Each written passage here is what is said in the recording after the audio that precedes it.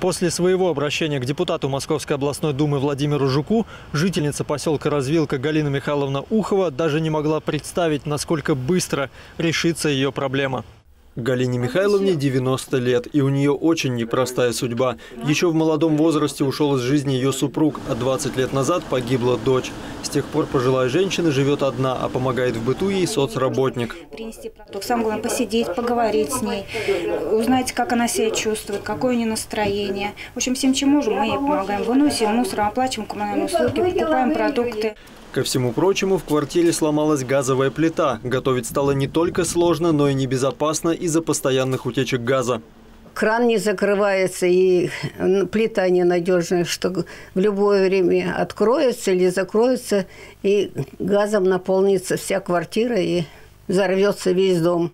За помощью пенсионерка обратилась к депутату Московской областной думы Владимиру Жуку. Он сразу вошел в положение и за короткое время организовал покупку новой плиты. Процесс установки занял всего час. А, вот. Все четыре работают, все нормально. Также Владимир Петрович подарил пенсионерке небольшие сувениры, а сразу после оформления всех документов на новую технику сотрудники газовой службы объяснили правила эксплуатации и оставили памятку о безопасном использовании. Галине Михайловне даны были рекомендации по пользованию данной плитой. Э, значит, она с газконтролем. Э, повторюсь, плита э, гораздо легче в обращении, чем предыдущая модель. То есть, если даже она забыла выключить комфорт, еще что-то, плита просто, ну, если задует газ, плита погаснет. И отключится, и перейдет в безопасный режим. Чтобы испытать новую плиту, женщина сразу поставила чайник на горящую конфорку и предложила депутату выпить чай с конфетами. Побеседовав за чашкой чая о жизни, Владимир Жук поблагодарил за теплый прием.